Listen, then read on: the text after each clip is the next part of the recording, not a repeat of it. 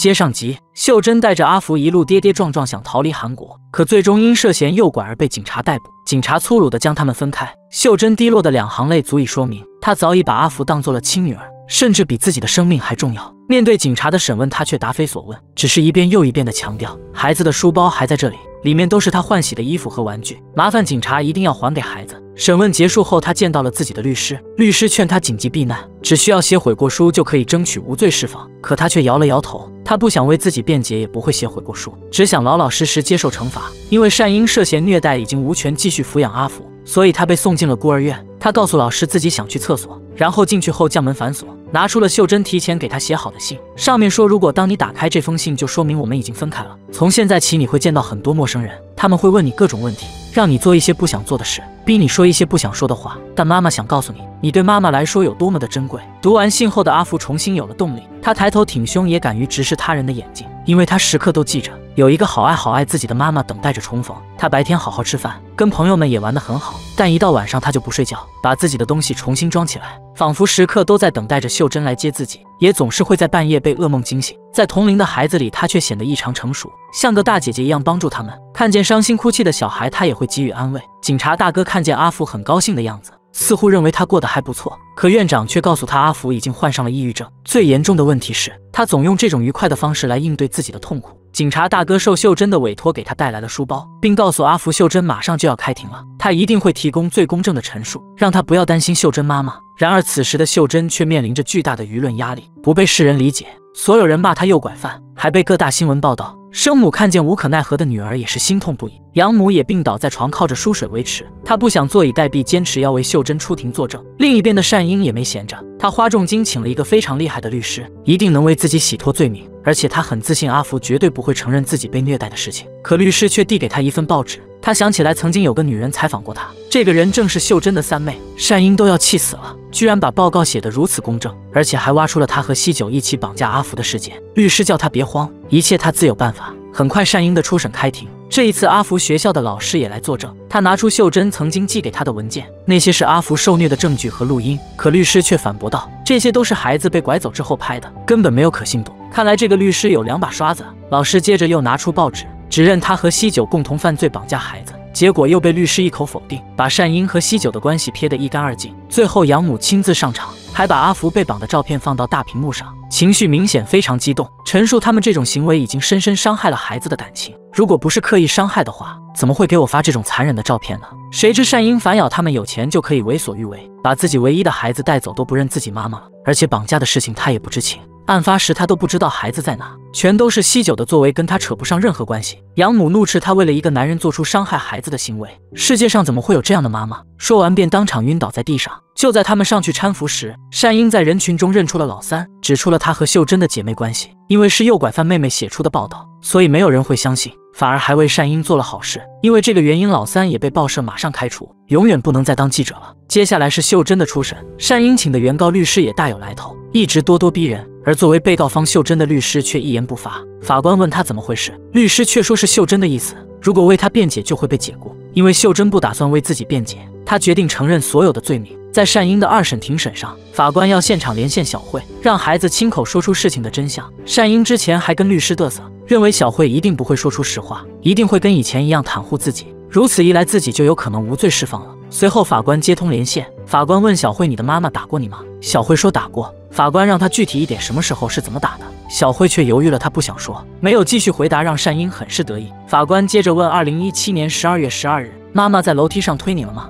小慧没有回答，更确切的说是不愿意回忆。但小慧还是说了一件事：去年在非常冷的冬天里，妈妈的男友让我感到害怕，在我嘴上涂了妈妈的口红。妈妈说我很脏，打了我之后拿出垃圾袋从我头上套下，然后把我扔在了外面。如果后来不是秀珍老师及时赶到救了自己，自己早就冻死了。小慧的这段话起到了决定性的作用。善英也意识到，小慧早已不是从前的那个小慧了。这次的审判，他输得非常彻底。善英因涉嫌多个重大罪行，被判处七年有期徒刑。所有人都看清了他的丑恶面具。对于这个结果，一家人欣喜万分，养母也终于松了一口气。老师将这个结果告诉了阿福，这意味着他再也不用回到善英的身边了。可他却没有很高兴，但也没有丝毫难过。另一边的法庭上，善英的律师指认秀珍的做法极其不妥，伪造孩子死亡的假象，私自带走孩子逃走。还企图用假的护照非法偷渡，让孩子陷入了更加违法、更加危险的状况之中。秀珍任由对方一直说、一直说，她却从头到尾也不为自己辩护。一旁的警察大哥都听不下去了，他要作为证人讲述自己办案时的经历。他表示，秀珍带走孩子，一枚威胁家长，二枚勒索钱财，唯一的目的仅是带着孩子离开。他在调查过程中遇到的所有人都说，二人看起来如同真正的母女，就连小慧本人也一直叫秀珍为妈妈。被告人秀珍承受着自己人生的巨大损失，以必死的决心带着小慧逃跑的行为，应该能在一定程度上得到解释吧。初审结束后，警察大哥带给秀珍一个饮料罐，上面是阿福写给他的话，说自己现在过得很好。对于秀珍不为自己辩解的行为，妈妈对她非常失望。难道你不想快点见到阿福吗？妈妈鼓励秀珍要振作起来，就像当初我为了见到你一样，每天都在拼尽全力，还鼓励她是可以做到的。最后的审判，秀珍没有犹豫，这一次她抛开法律，站在一个妈妈的角度上，果断为自己辩解。她从来没想过要当妈妈，因为自己从小就被妈妈抛弃了，一直都没有自信能承担起母亲的称号。直到她遇见了小慧，看见她满身伤痕被丢在垃圾袋里，看见她在夜晚穿着单薄的衣服。看见她明明被打还谎称自己很爱妈妈时，他就好像看到了曾经的自己，在妈妈杀了那个男人后，带着我一起逃跑，和我拉着小慧一起逃跑一样的关系。不知不觉中，自己就成为了小慧的妈妈，甚至再也无法和她分开。如果你问我为什么不报警或者求助帮助，与其让她接受各种询问和惊吓，与其让她被带到各种收容所，一直担心是否会被送回去，比起这些，不如我第一时间就抱着这个正在瑟瑟发抖的孩子，即使给我严惩，我也甘愿接受。如果再来一次，我还是会拉着他的手逃跑的。秀珍的这次发言感染了所有人，让人们感受到了成为一个妈妈的伟大之处。最后，经过法官的酌情处理，判处秀珍一年有期徒刑，缓期两年执行。也就是说，她就在此刻恢复了自由。当阿福得知秀珍妈妈不用坐牢的事，从心底里露出了久违的笑容。只是现在二人还不能团聚，秀珍目前没有领养孩子的资格，阿福只能继续留在孤儿院。晚上，他回到家，看着阿福写给他的话，无尽的思念涌上心头。这时，客厅的电话响了，阿福趁着老师们睡着，偷偷来到食堂拨打了电话。他问秀珍什么时候来接他，我还在这儿等着你呢。眼泪忍不住的流了下来。秀珍那边早已泣不成声。阿福告诉他，哪怕再次踏上逃亡之旅，他也愿意。可这一次，秀珍沉默了，因为被判缓刑两年，这期间他不允许接近孩子，只能不停的说着对不起。既然妈妈不能来接他，阿福决定自己去找妈妈。他先上网查询了火车票的价格，然后在上课时找老师要了一张地图，随后在地图上画出了逃走的路线。等夜里别人都睡着了，他便开始收拾行李。当他把所需价格全部算好之后，却发现还差四万韩元的车费。在为此发愁时，一个小男孩帮助了他。小男孩也是被家人丢弃的孩子，虽然已经六岁了，却不怎么开口说话。阿福平时与他聊天，就把对话写在纸上进行交流。在他知道阿福的想法后，他把阿福拉到了旁边，然后拿出几张钱支持他回去找妈妈，还给他加油打气，最后像个大姐姐一样拥抱了他。于是，当所有小孩都在看电影时，他抓住这个机会，偷偷溜出了观影室，接着俯下身子缓慢行走，成功躲过了前排的视线。来到大门前，他戴上外婆送的幸运项链，祈求好运。接下来，独自一人跨越一千公里，再次踏上了寻找妈妈的道路，还成功的坐上了火车。此时的养母已经放弃了治疗，从医院转到了家里，几个女儿也在忙前忙后的照顾她，包括秀珍也一直守在床前陪伴养母度过最后的时光。此时，老三在种花时，居然从地里挖出了一个盒子，里面装的正是领养申请和录像带。他回房播放录像后，才发现不仅秀珍是领养的，她和老二也是领养的。正巧老二来喊他吃饭，也看见了录像，他不敢相信里面被抱着的这个小孩就是自己。直到看见了自己的领养申请书，他气冲冲地找到母亲，一把将东西扔到床上。他一直认为自己是亲生的，还为此感到骄傲。可现在自己就跟个笑话一样。秀珍赶紧解释说，都是自己的主意，让妈妈瞒着你们的，因为不想让你们跟自己一样，总被别人用怜悯的眼光看着。但现在的他情绪激动，根本不能理解。夜晚，他打开录像带，看着秀珍姐和妈妈陪着自己成长的经历，足足哭了一晚上。然后他给孩子盖好被子，似乎他也想通了。第二天一早，他做了母亲最爱吃的粥给他送去。眼前的这个妈妈对他付出了足够的爱，这跟亲生的又有什么区别呢？老三也找到了母亲，而他就看得很开，因为自己一直以来都很幸福。养母想告诉他亲生父亲是谁，却被他止住了，表示有些事情自己不知道也行，因为他早就猜到家里的管家大叔就是自己的爸爸。从小到大，他对待自己的方式和其他人都不一样，一直以来的偏爱怎么可能察觉不到呢？他告诉秀珍，现在还无法开口叫他爸爸，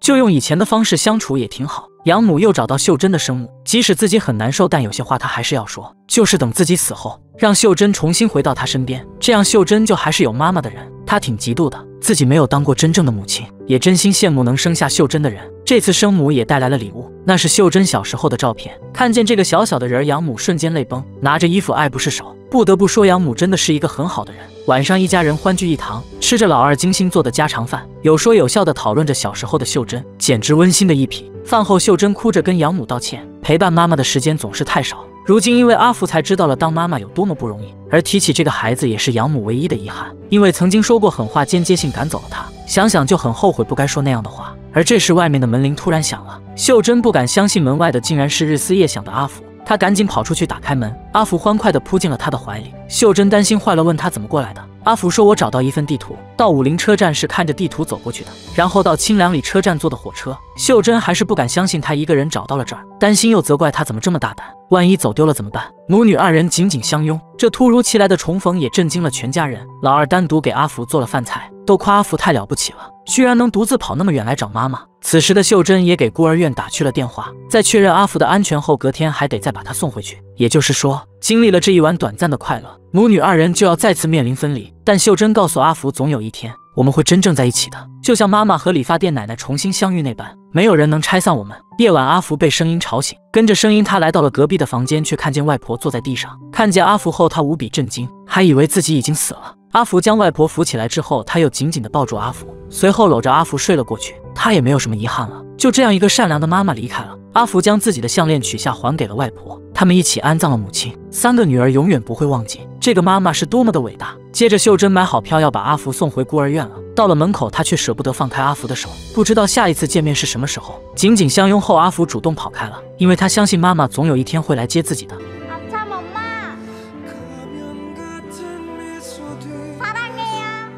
两年后，秀珍一直没有找到接回阿福的方法，但她收到了候鸟研究所的工作邀请。虽然这是个好机会，可如今她还是牵挂阿福，就决定走之前偷偷去看一下他。另一边的阿福几经辗转去到了爱心之家，现在即将被一对夫妇领养。两年不见的阿福留了长头发，看起来既乖巧又懂事，但是脸上却没有了半点笑容。阿福跟着新爸妈坐上了回家的车，这一切也被躲在后面的秀珍看见。他的心里无比的难受。随后找到孩子的负责人询问阿福为什么会被领养，原因竟是他不像的孩子。别的小孩会笑会闹会不听话而被挨骂，可他却太乖了，所有的事情都自己做好，还会帮弟弟妹妹们剪指甲。因为太心疼这个孩子了，想让他得到更多的爱，但一定不会交给秀珍你。然后一口一个诱拐犯没有资格领养孩子。园长警告秀珍以后不要再靠近阿福，否则就会报警。另一边的阿福和新父母来到餐厅吃饭，还点了阿福最爱吃的披萨，可阿福却全程板着个脸。不愿意和他们说一句话。此时的秀珍独自坐在公交站，过往的车开走了一辆又一辆，她默默流着眼泪，也不知道该怎么办。晚上，阿福拿出秀珍的照片，傻笑着，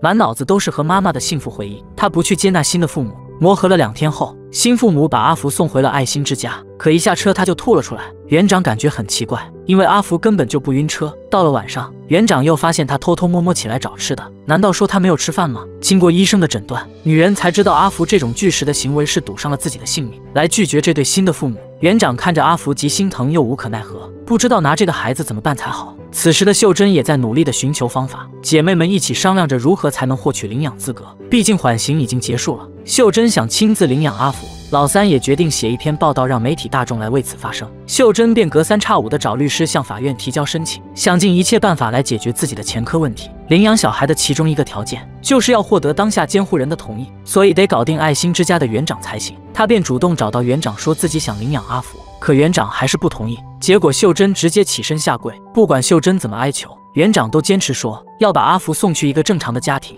可秀珍却说：“我知道你是真心爱孩子，可他叫过你一声妈妈吗？而他愿意叫我妈妈，能独自跨越一千公里来找我，我一定会努力做到对得起妈妈这个称号的。”可园长还是拒绝了他。下午，阿福再次坐上了新父母的车，女人握着阿福的手说道：“我一定会好好当你妈妈的。知道你内向，我们可以先从朋友开始做起。”下一秒，阿福抽回了自己的手，然后递给他一张纸条。女人看见后，一切都明白了，然后将阿福送了回去。园长还不知道什么情况，女人便把纸条递给了他。原来上面写着：“请不要领养我，我有妈妈。”女人表示自己虽然很喜欢孩子，可这样只会让阿福更痛苦，所以不能当他妈妈了。随后，园长来到房间问阿福：“你口中的妈妈说的是谁？”阿福回答：“江秀珍。”阿福说自己哪里都不想去，只想等秀珍妈妈来这里接自己。如果自己被领养了，他一辈子都不想开口说话。园长抱住这个痛哭的孩子，似乎有被感动到泪流不止。随后，他翻开一本书，这本书就是老三写的，上面记载了阿福被虐待，然后跟着秀珍逃跑和被逮捕的全过程。看完后，园长终于想通了。他给秀珍打去电话，同意了他的领养申请。他告诉秀珍，孩子真的一直在等你，这次领养只许成功，不许失败，不要让他再次失望了，不然我也会无法接受的。